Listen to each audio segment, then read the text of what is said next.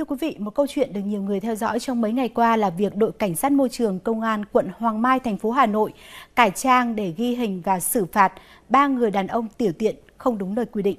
6 triệu đồng là số tiền mà ba người đàn ông phải trả cho hành vi vô ý thức của mình. Có lẽ nhiều người bất ngờ vì sao mức phạt lại cao tới như vậy. Tuy nhiên, mức phạt này là phù hợp trong khung hình phạt được quy định ở Điều 20 Nghị định 155 về xử phạt hành chính trong lĩnh vực bảo vệ môi trường vừa có hiệu lực từ ngày 1 tháng 2 vừa qua.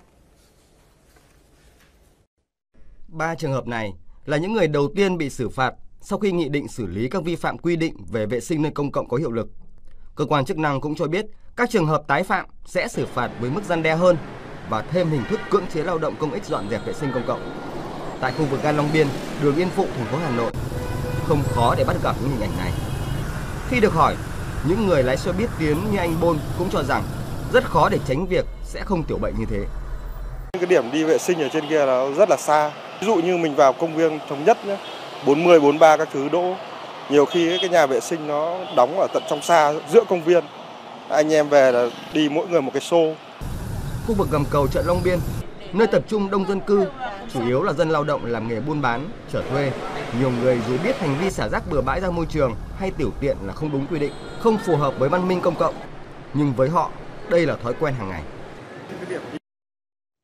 Vâng, khi Nghị định 155 được công bố với những mức phạt nặng cho hành vi tiểu tiện, bệnh, xả rác bừa bãi, vứt mẩu thuốc lá bừa bãi nơi công cộng ờ, được quy định ở Điều 20 Nghị định 155, thì nhiều người đã nghĩ rằng làm sao mà phạt xuể khi những hành vi xấu đó là chuyện thường ngày ở huyện rồi. Nhưng cuối cùng thì cơ quan chức năng vẫn có giải pháp. Và có mặt trong trường quay lúc này để bình luận về câu chuyện ứng xử văn minh nơi đô thị cùng chúng ta là bà Vũ Thị Vinh, nguyên Tổng thư ký Hiệp hội Đô thị Việt Nam. Xin cảm ơn bà đã tới với chương trình. À, trước hết là tôi muốn biết quan điểm của bà với tư cách là một chuyên gia trong lĩnh vực quản lý đô thị về cái câu chuyện này. À, phải nói là trong những ngày vừa qua thì à, Hà Nội cũng như cả nước cũng rất là quan tâm tới cái việc mà phạt à, ba vị đàn ông đã đi tiểu bệnh ở nơi công cộng. À, phải nói đây là một cái um, xử lý mà nói là rất nghiêm và có lẽ cũng là lần đầu tiên đối với Việt Nam À, đối với một số các nước thì cái chuyện này nó trở thành cái quy định và mọi người phải thực hiện rất là nghiêm. Nhưng ở nước ta thì cái nghị định 155 ban hành năm 2016 thay thế cho 179 của 2013 và cái nghị định 155 thì bắt đầu thực hiện từ 1 tháng 2 2017 và cho đến bây giờ thì chỉ có mấy ngày mà ta đã làm một cái việc nó rất là, phải nói là mạnh. Thế thì à, so với cái nghị định 179 2013 thì cái khung xử phạt là tăng lên rất là lớn. Thế thì ở đây nó cũng là một cái câu chuyện mà cũng phải nói là để cho mọi người phải có những các cái suy nghĩ về những hành vi của mình. Vâng. và cũng phải là có yeah. những cái à, ứng xử cho nó đúng Vâng, vâng, tôi thì cứ nghĩ rằng là tại sao chúng ta không tiến hành phạt nặng như thế này sớm hơn? Có cảm giác như là những cái việc xấu mà tồn tại lâu đến mức nhiều người cho rằng đó là việc hiển nhiên rồi, à, phải chấp nhận. Chỉ đến khi có một cú hích của chính quyền thì mọi người mới suy nghĩ lại. À, theo bà, việc coi đảm bảo trật tự văn minh nơi đô thị là việc của riêng chính quyền mà thôi thì nó nguy hiểm như thế nào? À, tôi thì tôi nghĩ rằng là tất cả mọi cái nó cũng sẽ phải có cái thời điểm. Ví dụ như nếu như trước đây mà ta xử phạt như thế này thì như vậy đứng về góc độ chính quyền cũng chưa có những cái cái điều kiện về cái mặt gọi là à, chúng về những cái văn bản pháp luật. Thế rồi đối với người dân thì cũng chưa có nhận thức trên nó phải có cái thời điểm. Thế còn khi mà ta không có những cái xử lý thì đúng là những các cái hành vi mà nó không đẹp ấy nó sẽ trở nên bình thường và mọi người cũng sẽ trở thành bình thường. Vâng. còn khi đúng là chính quyền đã vào cuộc thì chúng tôi nghĩ rằng đó là cái cơ sở để cho cái việc mà văn minh của đô thị nó sẽ ngày càng được tốt lên. Vâng ạ. Tại sao mà cứ có phạt nặng thì đâu mới vào đấy được à, có một điều mà chúng ta cũng nói đến rất là nhiều là uh, khi ở nước ngoài thì phần lớn người Việt Nam uh, rất là cư xử khá là văn minh và không ừ. dám uh, có những hành vi tùy tiện thế nhưng mà về Việt Nam với những con người như thế thì lại có hành động buông tuồng uh, bà lý giải về sao về điều này ừ, trong cái công tác quản lý đô thị mà chúng tôi thấy rằng là cũng là kinh nghiệm của các nước và gần đây. Ở khu vực gần nhất là Singapore chúng ta đã biết rất là nhiều. Tức là người ta cũng có những cái giai đoạn ban đầu như mình nhưng mà chính quyền coi như đưa vào kỳ cương. Bởi vì giữa cái chuyện mà nâng cao nhận thức của người dân cùng vẫn phải làm nhưng mà cái nâng cao nhận thức để cho nó biến trở thành một cái ý thức thì thường nó là tương đối lâu dài. Nhưng mà nếu như kết hợp với cả những cái vấn đề mà đưa vào kỳ cương mở phạt thì chúng tôi nghĩ rằng người ta sẽ nhớ lâu hơn ví dụ như là cái bảo hiểm à, tức là bảo đội mũ bảo hiểm thì phải nói là vâng. cũng không phải là đơn giản nhưng mà khi phạt là mọi người vào cái túi tiền là sẽ phải cân nhắc và cũng như phải nhớ để thực vâng. hiện. Vâng ạ. À, xin cảm ơn bà Vũ Thị Vinh. À, thưa quý vị, à, Nghị định 155 à, về xử phạt hành vi vi phạm vệ sinh môi trường nơi công cộng bắt đầu có hiệu lực từ ngày 1 tháng 2. À, tuy nhiên ở khía cạnh khác thì à, Ừ, theo chúng tôi là ừ, tại nơi không ít khu vực của thành phố Hà Nội thì cơ sở hạ tầng phục vụ cho vệ sinh môi trường vẫn còn thiếu và chưa đồng bộ chưa đáp ứng được nhu cầu ừ, của người dân và du khách. Đây cũng là một trong những nguyên nhân khiến cho tình trạng tùy tiện trong vệ sinh môi trường và xả rác bừa bãi nơi công cộng vẫn còn xảy ra khá phổ biến hiện nay.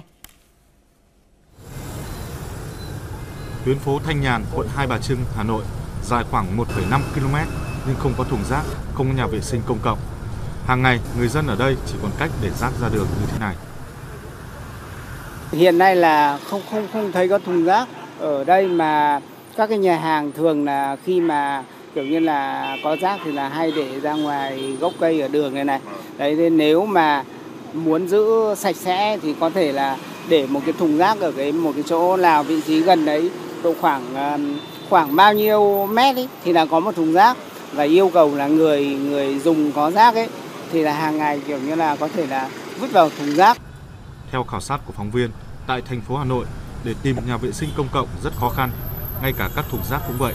Chỉ có ở những nơi như công viên, đặc biệt là khu vực trung tâm Hoàn Kiếm, Hà Nội mới lắp đặt khá dày đặc các thùng rác hoặc các nhà vệ sinh công cộng đảm bảo tiêu chuẩn. Theo tôi ấy, là để bảo đảm được vệ sinh để cho thành phố xanh đẹp thì phải ờ, các cái nơi công cộng thì nên có những nhà vệ sinh uh, di động ấy để bảo đảm là khi mà cái người ờ, người dân đi có cái nhu cầu giải quyết thì sẽ vào đấy được. Theo Sở Xây dựng Hà Nội, toàn thành phố có 340 nhà vệ sinh công cộng, trong đó 236 nhà xây cố định. Thời gian tới, thành phố sẽ đưa vào sử dụng 1.000 nhà vệ sinh công cộng và tăng cường hàng loạt các thùng rác ở nhiều tuyến phố với mong muốn xây dựng một Hà Nội văn minh, sạch đẹp. À, thưa bà Vũ Thị Vinh, bà đang nghe ý kiến của một số người dân về cái hạ tầng công cộng của thành phố Hà Nội cũng chưa được đồng bộ. Người dân chỉ có hơn 300 nhà vệ sinh công cộng ừ. phục vụ cho một thành phố với hơn 6 triệu dân. À, và có ý kiến cho rằng là phạt như vừa rồi mới chỉ là phần ngọn thôi, còn phần gốc thì chính quyền cũng phải hành động. Cụ thể là sẽ phải xây dựng thêm uh, nhiều nhà vệ sinh công cộng rồi lắp đặt những hệ thống thùng rác cho nó văn minh tiện lợi. Bà có đồng ý với những ý kiến này không? À, tôi nghĩ rằng là để mà có thể quản lý tốt các cái vấn đề như là xử lý cái hành chính trong cái bảo vệ môi trường, trong xả rác hoặc là à, vệ sinh ấy, thì nó có ba cái yếu tố.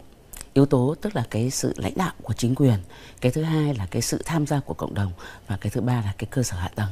Và tất nhiên là chúng ta phải đáp ứng được một cái điều kiện cơ sở hạ tầng mà tôi nghĩ là tối thiểu bởi vì Hà Nội thì cũng rất là rộng và cũng là như là chị nói là hơn 6 triệu dân cho nên rằng là, như là chủ tịch thành phố đã nói là chúng ta trong cái năm 2017 sẽ xây dựng 1.000 cái nhà vệ sinh công cộng. Thì chúng tôi nghĩ rằng cái điều đó nó cũng rất là tốt. Bởi vì nếu mà có cái cơ sở như thế thì khi phạt, người ta sẽ không nói được. Còn bây giờ, nếu như ta phạt, thì người ta nói rằng không có cái điều kiện để chúng tôi có thể, nghĩa là, làm tốt được cái cái việc mà trách nhiệm của người dân thế cho nên là chúng tôi nghĩ rằng là cái này nó phải kết hợp chính quyền người dân và phải xây dựng cơ sở hạ tầng chỉ có hai cái đó thì nó sẽ tác động rất là tốt cho cái công tác về quản lý eh, văn minh đô thị của Hà Nội. Vâng nhìn về bộ mặt đô thị hiện nay trong cái việc xây dựng nếp sống văn minh đô thị thì theo bà chúng ta còn đang thiếu những điều gì? À, chúng tôi à, nghĩ rằng là cái cơ sở hạ tầng thì đúng là một cái điều mà rất là quan trọng rồi và thiếu. Nhưng mà cái đó thì phải có thời gian và phải xây dựng, phải có kinh phí. Nhưng mà cái mà quan trọng nhất, chúng tôi nghĩ rằng là trước hết là phải quyết tâm của chính quyền. Bởi vì khi có quyết tâm của chính quyền thì chắc là sẽ khó khăn sẽ tìm ra được giải pháp. Và cái điều thứ hai là phải biết huy động người dân phải tham gia cái trách nhiệm trong bảo vệ cái môi trường. Nhưng mà nó có một cái điều khó với Hà Nội. Ví dụ như là khu dân cư thì đúng là cùng sống với nhau. Nhưng mà nơi công cộng của Hà Nội thì dân ở rất là nhiều các cái địa phương đến. Cho nên rằng là tôi nghĩ rằng vừa qua Hà Nội mặc dù cái nghị định 155 là mới, nhưng Hà Nội đã tiên phong. Và tôi cho rằng đấy là một cái bước khởi đầu cho một cái việc quyết tâm của chính quyền Hà Nội đi vào một cái bước mà chúng tôi cho là rất khó khăn, chứ không phải dễ dàng. Xin cảm ơn bà Vũ Thị Vinh. Vâng. À, thưa quý vị, quay trở lại câu chuyện phạt nặng, phạt điểm các hành vi thiếu ý thức ở nơi công cộng. Nếu nhà chức trách mà kiên quyết phạt thì số tiền thu được hiện nay sẽ là không nhỏ. Nhưng phạt nặng sẽ có tác dụng răn đe để người dân soi chiếu, từ đó điều chỉnh hành vi cho mình. Phải mất nhiều năm để xây dựng nếp sống văn minh nơi đô thị. Ở nhiều thành phố lớn trên thế giới thì việc xây dựng ý thức văn minh nơi công cộng cũng bắt đầu chính từ những hình phạt rất nặng. Đến đây chúng tôi xin kết thúc chủ đề đầu tiên của chương trình ngày hôm nay.